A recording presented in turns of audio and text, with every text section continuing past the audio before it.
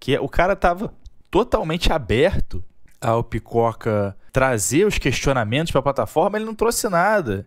Ele ficou falando de amor ali, de da essência, da Twitch, de do Nordeste 2, que ele mora.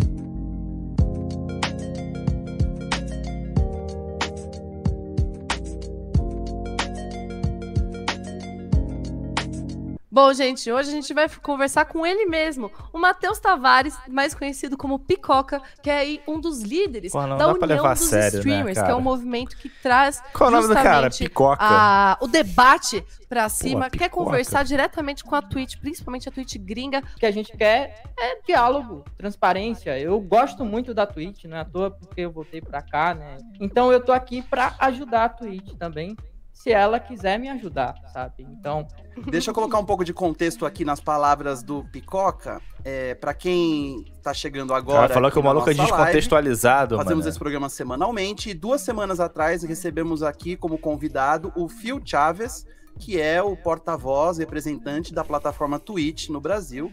senti que a Twitch deu uma punhalada, vamos dizer assim, nas minhas costas, nas costas da comunidade, como foi uma mudança drástica, muito drástica. Parece que faltou estudos, por isso o tópico da, da, da transparência, né? Então, eu sozinho não podia fazer nada. Eu podia muito bem sair da internet e continuar trabalhando como autônomo, né? E aí, por isso que veio a união, né? Surgiu muito da coragem, né? E quando se fala de coragem, vem do coração. Então, eu disse, cara, vou criar o sindicato, sabe? Foi, foi É feito pica. com uma forma, vamos dizer assim, agressiva de marketing. E eu acho que foi uma questão de revolta minha mesmo. Eu fiquei bem abalado e disse bem assim: vou criar, sabe? Aquela coisa impulsiva de, de menino novo, moleque, sabe? Que eu tenho. O nome do sindicato vem dessa brincadeira, né? Vem desse meme. E eu não sabia da dimensão do nome. Mas existem Mas é outra coisa, é, isso aí, isso aí, isso aí. problemas mais profundos nessa discussão Sei. toda, porque a gente percebe, apesar de o atual nome se chamar União dos Streamers, que não existe uma unidade real entre toda a classe streamer do Brasil. Eu Mas acredito. tem muita gente, inclusive representada por streamers muito grandes, que acham um grande absurdo o que vocês estão solicitando e com um discurso assim bem é, semelhante, bem é, Aquele anão, né? Aquele pessoas. anão, né? Basicamente, eu vou aqui soltar, lançar a braba, como a gente costuma dizer. Eu já lançava é, brava. Aquele é um Quem não está da puta, satisfeito cara. que saia, porque afinal a empresa é, dita as Aquele é um próprias regras. puta. E essa galera que vem com, com coisas é só sair, vocês sabem que esses caras iam falir a primeira empresa que eles criassem. Porque existe uma marca, Cisela. Existe. Porque a Twitch. Por que muita gente veio pra Twitch na, na pandemia aí? Porque a Twitch era a plataforma que melhor pagava. Acho que eles tocaram em algo emotivo, sabe? Na essência da coisa. Então, eu acho que por isso que muita gente Não, ficou não foi tocada. por isso. Tem uma coisa bem objetiva que vocês estão solicitando, que é uma. é, entender melhor como funciona essa taxação de 30% que fica retido com o governo americano e se isso pode ser feito de uma Pode, maneira é, diferente. pode ser mudado, exatamente. Tipo, a gente pode usar outras plataformas de exemplo. Eu acho que fica mais fácil, né? Já que a gente tá falando da Amazon. A Amazon não tem sede no Brasil? A Twitch. O que é que a Twitch? A Twitch é diferente da Amazon. É, quem é funcionário da Twitch recebe pela Amazon, pela Twitch, eu não sei. Isso aí eu também não tenho como. São questionamentos que a gente tem que trazer até para o pessoal da Twitch se preparar para esclarecer para todo mundo. Porque é igual eu te falei, eu não tô aqui para causar treta, não tô aqui para falar mal da, da, da, da plataforma que me deu um sustento que, que fez eu mudar de vida. Então, eu acho que a gente tem que ser. Ah, beleza, você é uma empresa, por que você não traz benefícios para os seus funcionários? Sabe? Caralho, eu não tô aqui para trazer solução, simula não, eu não sou empresa, eu não sou dono da Twitch, eu não sou CEO, eu não tenho. Sabe? Simula o eu posso falar da minha stream. Então, eu acho que é, Porra, Picoca, simula o a gente tem que tomar muito cuidado, sabe? Quando vai falar de imposto, né? Sobre esses 30% e deixa pra Twitch responder, já que você falou que o Fio vai voltar aqui daqui a três meses, deixa ele responder, né? Essas coisas da, da, da empresa. Porra, por que não chamou um eu cara, meu Deus, que soubesse disso, cara? Quando eu falo que eu não sou o dono da razão, e as pessoas estão muito cheias. Porra, cara. É não, na boa, picoca. As Eu gosto pessoas. do picoca, eu cara, mas não podia ter deixado lados. picoca fazer isso. E, e- e eu entendo, tudo Tem bem, que botar cara. um cara que saiba favor, conversar. não Picoca não crítica sabe. rasa. Venha com crítica construtiva, venha fazer diálogo na moral, vamos apresentar os pontos, porque isso é bom. Cadê os é pontos, ruim. cara? Sabe? Meu Deus, Foi uma parada mais agressiva? Sim. Porra, Por isso que a gente chegou no Trending Topics com essas ideias de tweet melhor. Se não tivesse, se fosse, se não fosse tão agressivo, não tinha chegado, né? Em outros nichos. Concordo com o movimento, só não concordo com esse viés grevista e de manifestação. Eles deveriam se unir e negociar como um bloco de streamer e não criar esse movimento proletário, entre aspas. E eu entendo que concordo. as críticas de muitas pessoas que estão querendo é, bater de frente com vocês tem a ver muito com o tom, né? E não com exatamente o conteúdo das demandas. Eu não vou chegar, você não pode se expressar. Se expressa do jeito que você quer. É isso, é isso que a gente precisa. É essa voz que a gente precisa levantar, cada um do seu jeito. Eu, eu, eu acho que a gente pode até finalizar. péssima participação do Picoca na parada. Sabe o que, que o Lula fez com o PT? Sabe o que, que o Zé Dirceu fez com o PT? O Zé Dirceu, ele é toda, ele é toda a cabeça pensante, né? A mente intelectual por trás do PT é o Zé Dirceu, né? Só que para que o PT pudesse ganhar, o que, que ele fez? Ele tinha que botar alguém na frente do partido que fosse a cara do povo, tá ligado? Mas quem tava controlando tudo por trás era o Zé Dirceu. Por quê? Porque se o Zé Dirceu bota a cara dele ali, a nega ia falar, "Ih, esse cara aí, filho, esse cara aí é muito esperto.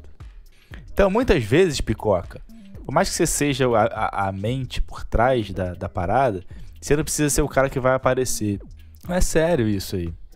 Né? Você, tem que, você tem que ter alguém com mais preparo que você para pautar os assuntos e para conversar de igual para igual com um cara que você sabe que vai estar preparado. Que o cara tava totalmente aberto ao Picoca trazer os questionamentos para a plataforma, ele não trouxe nada. Ele ficou falando de amor ali, de da essência, da Twitch, de do Nordeste 2, que ele mora. Porra, tanto que o maluco encerrou, caralho. Vamos. Sabe quando tu, pô, tu tá conversando com aquela mulher que é mó gata, que tu tá afim, de repente ela mete assim, porra, vambora. Eu assim, que isso, cara? Por que você quer ir embora? Eu tô gostando tanto. Você não tá gostando, não? Ah, não. Tô, tô gostando, mas não tô gostando tanto assim, né? Sabe? Caralho, se prepara pra parada. O maluco simplesmente fudeu a porra, acabou essa merda. Né? Se a Twitch mudar alguma coisa, vai ser por benevolência deles. Falar assim, caralho, esses brasileiros aí, fudido, que vieram da selva. Pô, vamos ajudar esses caras. Nem ele sabe o que ele quer. Sei lá, parece que nunca teve numa reunião, nunca teve um pra trabalhar num projeto. Não é possível, cara. Não, não vou tomar a frente porque os caras me agrediram lá, mandaram eu sair. Falou, o maluco cresceu pra mim, que cresceu em cima de mim lá, que eu falei que. Eu entrei lá e falei, cara, vocês estão malucos com essa porra de a Twitch tem que se curvar, vocês estão doido? Aí o maluco meteu lá, eu acho que a Twitch tem que se curvar sim. Que começou a escrever em caixa alta, né? Porque nós somos a plataforma. Eu falei, cara, quem é você? Você é o, Ga você é o Gaulês, cara? Eu falei assim, beleza, não concordo, acho que vai dar merda isso aí. Até o Picoca apareceu lá, não, Baltar, eu entendo. Eu falei assim, não, Picoca 1. Tem um monte de, de gente ali que acha que realmente a plataforma tem que ser o Make-Wish, entendeu? E eu concordo quando o Jaules fala isso, quando o Kazé fala isso.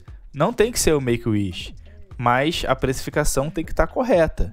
Você não pode botar, a Twitch recebe 50% de, de 100% que você ganha. Desses 50% que te sobra, tem 30% de imposto em dólar. É óbvio que tá errado, né, cara? Se o cara nacionalizou o preço, troca- tropicalizou o preço, por que que pra você retirar o dinheiro ainda tem que ser 100 dólares? Porra, tá errado, entendeu? O cara tinha que ter passado que tá errado, né? É óbvio que não vai dar certo. É óbvio que as pessoas vão sair, entendeu? A Twitch não tá dizendo que não quer que ninguém saia, que não quer perder streamers, que não quer perder público. As pessoas vão sair, cara. Vão sair, porque as pessoas têm que pagar a conta, as pessoas estão as pessoas estão nervosas, As pessoas estão com medo, as pessoas estão inseguras, as pessoas não sabem o que fazer, é isso que eles queriam fazer? Ou então a empresa fosse honesta. Não, estamos liberando banda pro Gal, pro Jaules. Streamar em 4K. Por que você fica streamando aí, seu, seu vagabundo? Tu fica aí com cinco pessoas, streamando em 4K, comendo a banda do Jaules, do Reron do Jaules. A gente quer extirpar você da plataforma. Você não entendeu?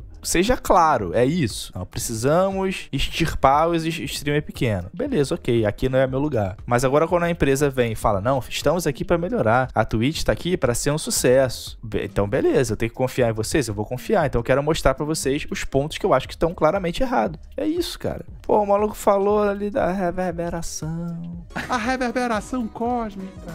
Cara. A reverberação da rebimboca da parafuseta do universo quântico. Porque sabe o que eu percebi com, no, pipo, no Picoca, eu não tenho nada de psicólogo, mas eu consigo notar essas coisas muito fácil, muito facilmente. Quando ele fala, ele postou lá, só um louco como eu para brigar com a Amazon. É muita loucura isso aí. Você fala assim, porra, só um louco como eu para entrar num avião e, porra, da minha guitarra me separar e ir pra, pra guerra do Vietnã, aí beleza. Aí tu fala assim, cara, só um louco como você mesmo. Cara que ouvia Beatles e Rolling Stones e pra guerra do Vietnã, né? Aí beleza. Agora você brigar na internet, então você nota um certo deslumbre, entendeu? Como se o cara quisesse ganhar de alguma forma algum tipo de. É, eu sou o cabeça, entendeu? Eu sou o cabeça. É, eu, eu sou o chefe agora. Ele falou isso numa reunião lá. É como se ele fosse ganhar algum reconhecimento. Mas eu não, eu não entendo isso como maldade. É, nele eu vejo, eu vejo isso como inexperiência, entendeu? Sem noção da realidade, inexperiência. Eu não acho que ele seja um cara que tá pensando nisso. Mas. Cara, falta experiência. É, preparo também. Mas nem o preparo vence a experiência.